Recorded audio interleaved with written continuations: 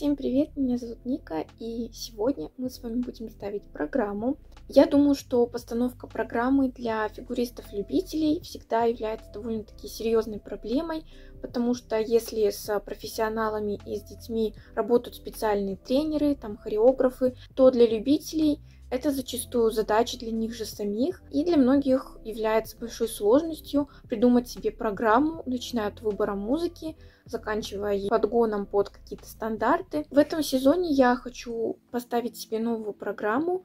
Свою первую программу мне помогала ставить тренер на отдельных таких тренировочках, а все оставшиеся я взяла на себя, потому что мне хотелось придумать что-то свое, и придумать что-то такое сложненькое, то, что будет очень нравиться мне.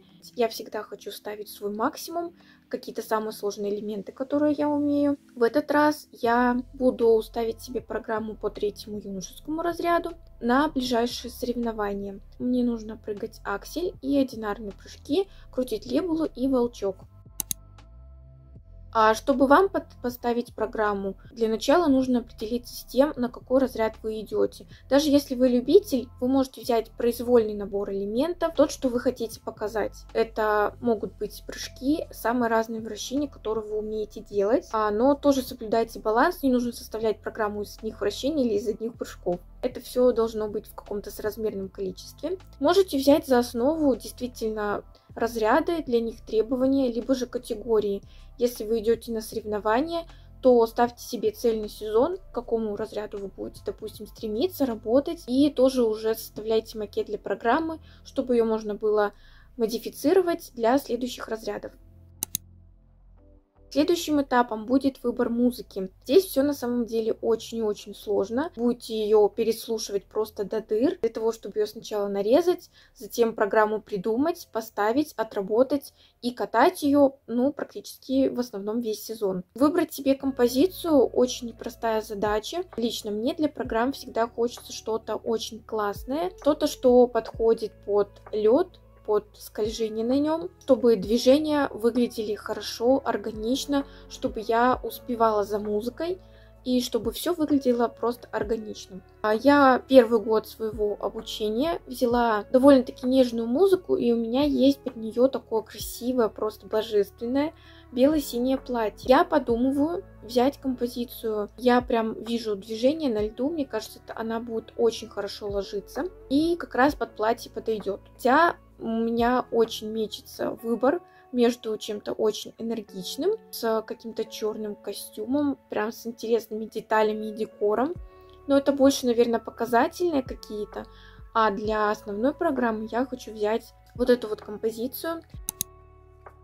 А, с музыкой определились, с разрядом мы определились. Теперь нам необходимо музыку подогнать под временные рамки. Для третьего юношеского разряда музыка должна быть не более 2 минут 10 секунд, то бишь 2 минуты плюс-минус 10 секунд. Можете взять минуту 50. Вы тоже смотрите под свои критерии. Если вы делаете программу для показательных, вы можете не так сильно париться с хронометражом, но не берите слишком длинные композиции, потому что вы очень устанете катать, и к тому же она может быть одинаковая, такая однотипная, скучная, и придумать что-то под нее будет довольно-таки сложно. А выберите такую композицию, из которой можно, допустим, вырезать какую-то часть, чтобы она стала покороче, покомпактнее. В основном ведь все песни по 4 минуты, некоторые по 5. Ну, я говорю про песни именно там со словами, с куплетами и так далее. Какие-то вот классические композиции, они, да, могут быть покороче. Просто слушая музыку, сразу понимаете, что вот эту часть я вырежу, вот эту я сокращу,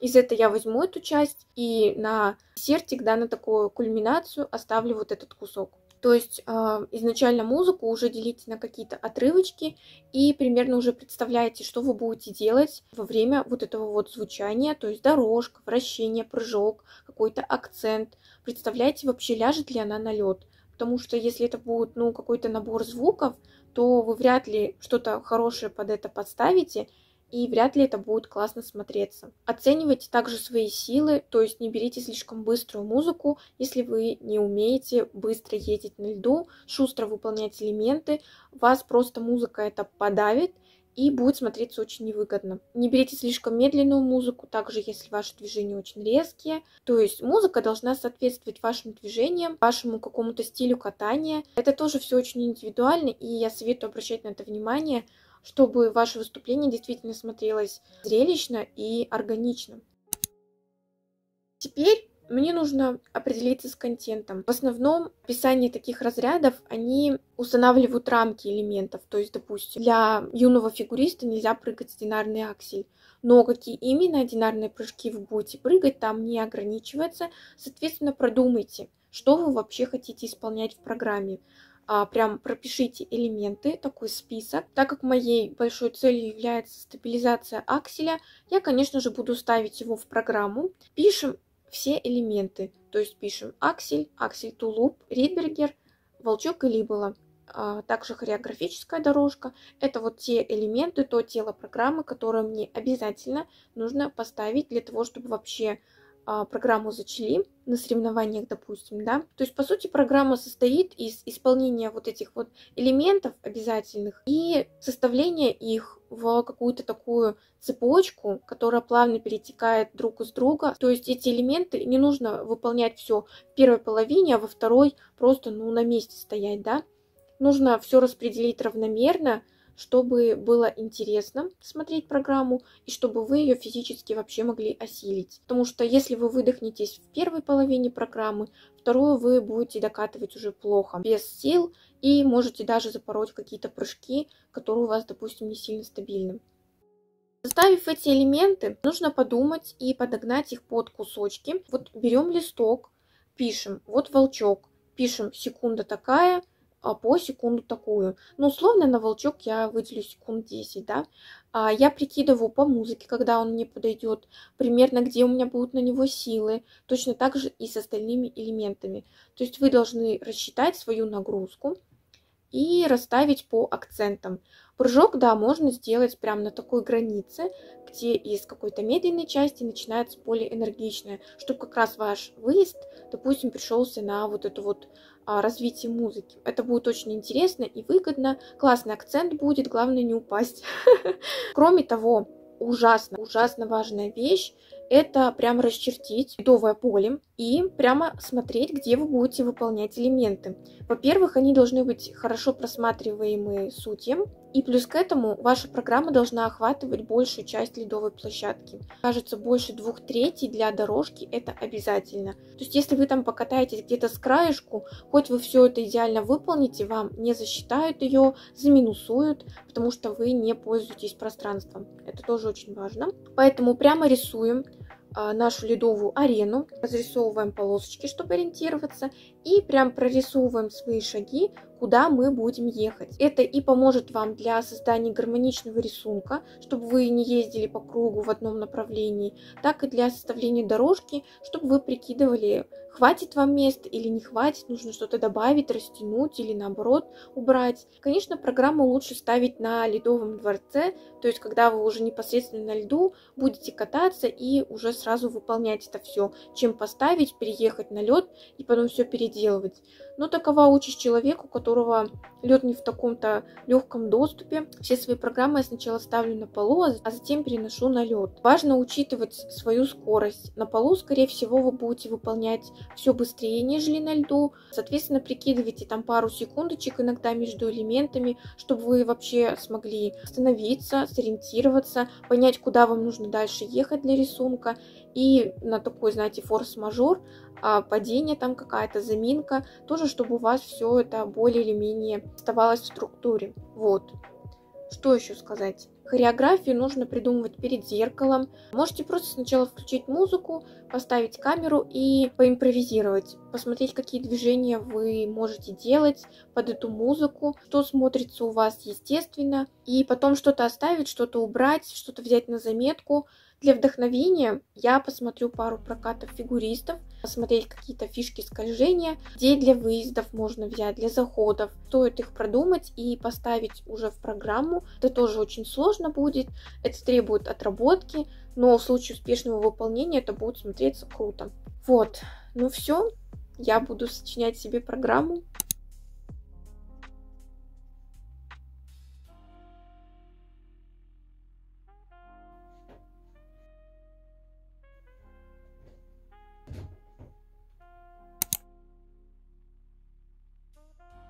И завершающим этапом постановки программы будет отработка этой самой программы на льду.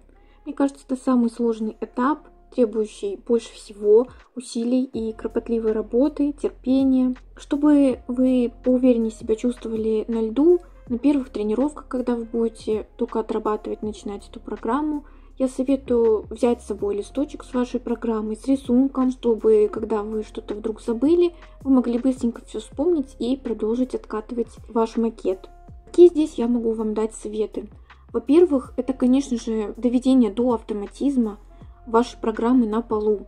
Если вы будете хорошо помнить последовательность элементов, хотя бы такой, знаете, каркасик самый основной, то вам на льду уже будет легче вспомнить какие-то связки, выезды и так далее. Потому что, ну, например, программа, если длится 2 минуты, то в ней ты буквально успеваешь только переходить от одного элемента к другому. Соответственно, достаточно запомнить лишь последовательность элементов – и, в принципе, программа уже более или менее в голове у вас отложится. Также можно накатывать программу не всю сразу целиком, а хотя бы какими-то кусочками. Например, если вам дают задание отработать прыжок, то берите сразу кусочек из вашей программы с этим самым прыжком, отрабатывайте его с вашим заходом. Иногда пытайтесь что-то усложнить, чтобы получить плюсики на соревнованиях, например, потому что то, что вы поставили на полу, может значительно видоизмениться на льду. И не стоит этого бояться. Это очень частая ситуация, когда на льду все получается не совсем так, как вы планировали на, на полу. Либо для вас это слишком сложно, неудобно, либо не хватает места, или же наоборот все идет в каком-то одном направлении, к примеру. Этап редакции на льду, он вполне естественен. Когда вы начнете уже вкатывать программу, вы поймете, удобна она для вас или нет, сложная ли она для вас. Либо есть моменты, которые можно усложнить для зрелищности, для плюсов, надбавок каких-то и так далее. Со временем вы можете увидеть какие-то другие фишечки, либо придумать новые хореографические элементы и спокойненько вставить в вашу программу. Главное, запоминайте свои изменения, то, тоже фиксируйте на листочек, чтобы ваша переработанная версия осталась уже в качестве финальной, итоговой. Можете попросить или самим попробовать записать исполнение программы на льду. И отрабатывать сначала я вам советую без музыки, то есть чисто шаги, чисто последовательность, связки и так далее от начала до конца. Почему без музыки? Потому что под музыку вы будете торопиться, волноваться. Если вы где-то пропустите, не успеете в акцент, то вы собьетесь и музыка продолжит идти, вы уже потерялись, вы сбились, и все придется либо начинать сначала, либо уже продолжать путаться. А если вы будете без музыки, вы просто не спеша будете вспоминать все последовательности, и так постепенно перейдете к исполнению уже под композицию вашу. В общем-то, мне кажется, все. Самое сложное это, конечно же, отработка на льду, потому что это и развитие выносливости, и развитие вашей способности собрать все элементы не по отдельности, а в связке, в длительной довольно-таки последовательности. Поэтому не опускайте руки, если все не получается с первого раза. Любой отрывок, любой момент можно подкорректировать, отработать. Поэтому просто не переставайте работать над вашей программой, и у вас обязательно все получится. В общем, если вы ставите себе программу, я желаю вам удачи и вдохновения. Главное запастись терпением, потому что создание программы очень творческий процесс, поэтому подходите к нему с хорошим настроением, с хорошим настроем, и все обязательно будет классно. Ну а я с вами прощаюсь. Большое спасибо вам за просмотр этого видео. Я надеюсь, что оно вам понравилось и оказалось полезным. Подписывайтесь на мой телеграм-канал, в нем я выкладываю последние новости и просто делюсь моментами своей жизни с вами, с моими подписчиками. Спасибо, что меня смотрите, что оставляете свою обратную связь, свои комментарии. Я все читаю и очень ценю. Встречи в следующих видео. Пока!